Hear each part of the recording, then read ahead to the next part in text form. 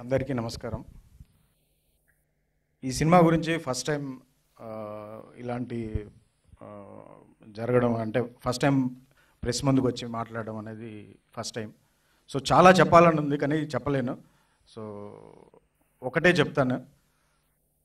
Sye Raa Narasimha Reddy Uyyalawada Narasimha Reddy. Is a first freedom fighter in our land Andhra Pradesh Telangana అతని గురించి చాలా మందికి తెలియదు. So నాకు కూడా ఈ సినిమా టేక్ ఆఫ్ చేసేటప్పుడు టైంకి కూడా నాకు కూడా తెలియదు. బట్ నేను టేకాఫ్ చేసిన తర్వాత so much one year research చేశాము. ఎవ్రీథింగ్ గెజెట్ నోట్స్ దగ్గర నుంచి ఎవ్రీథింగ్ కలెక్ట్ చేసి ఆ ఆ టైంలో జరిగిన uh, ఇన్సిడెంట్స్ ఇప్పటికి కూడా స్టిల్ గెజెట్ నోట్స్తో సహా ఉన్నాయి. వాటి ఆధారాలను తీసుకొని కొంతమంది ఉయ్యాలవాడ సంబంధించిన కొంతమంది స్నేహితులతోటి కుటుంబ సభ్యులతోటి అక్కడ ఒక సమితి ఉంది ఈ నరసింహారెడ్డి మీద. సో వాళ్ళందరితోటి నేను రీసెర్చ్ చేసి మొత్తం ఇది చేసి ఈ సినిమాని చేయడం జరిగింది. నేను నిజంగా ఈ సినిమా చేయడం అనేది ఫస్ట్ చాలా గర్వపడుతున్నాను. ఎందుకంటే ఈజ్ అన్సంగ్ హీరో సో అది రేపు మీరు చూడబోతున్నారు. రెండో విషయం ఏంటంటే ఈ సినిమాకి చిరంజీవి గారు చేయడం అనేది ఇంకా అది నా అదృష్టం. ఈ సినిమా సైరా నరసింహారెడ్డికి ఎలాగైతే తను ఎంత యాప్టో షూటింగ్ చేసిన తర్వాత మాకు అర్థమైంది.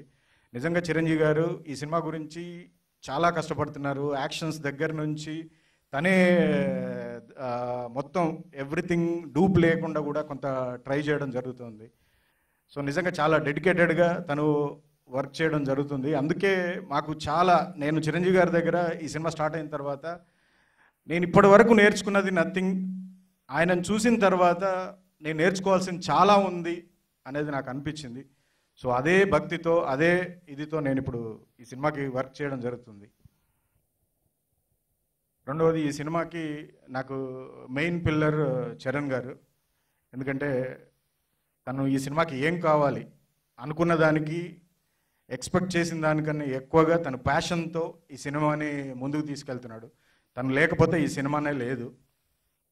అలాగే ఈ సినిమాకి నాకు మేజర్ ఎసెట్ ర్యాండీ గారు అండ్ రాజీవన్. వీళ్ళిద్దరి కోఆర్డినేషన్ తోటి నేను నిజంగా నాకు చాలా అద్భుతంగా ఉంది. నేనే కూడా సినిమా చేసి నేను ఎడిటింగ్ రూమ్లో చూసుకున్న తర్వాత నాకే ఒక కొత్తగా కొత్త ఫీలింగ్. ఎందుకంటే this kind of film first time చేస్తున్నాను.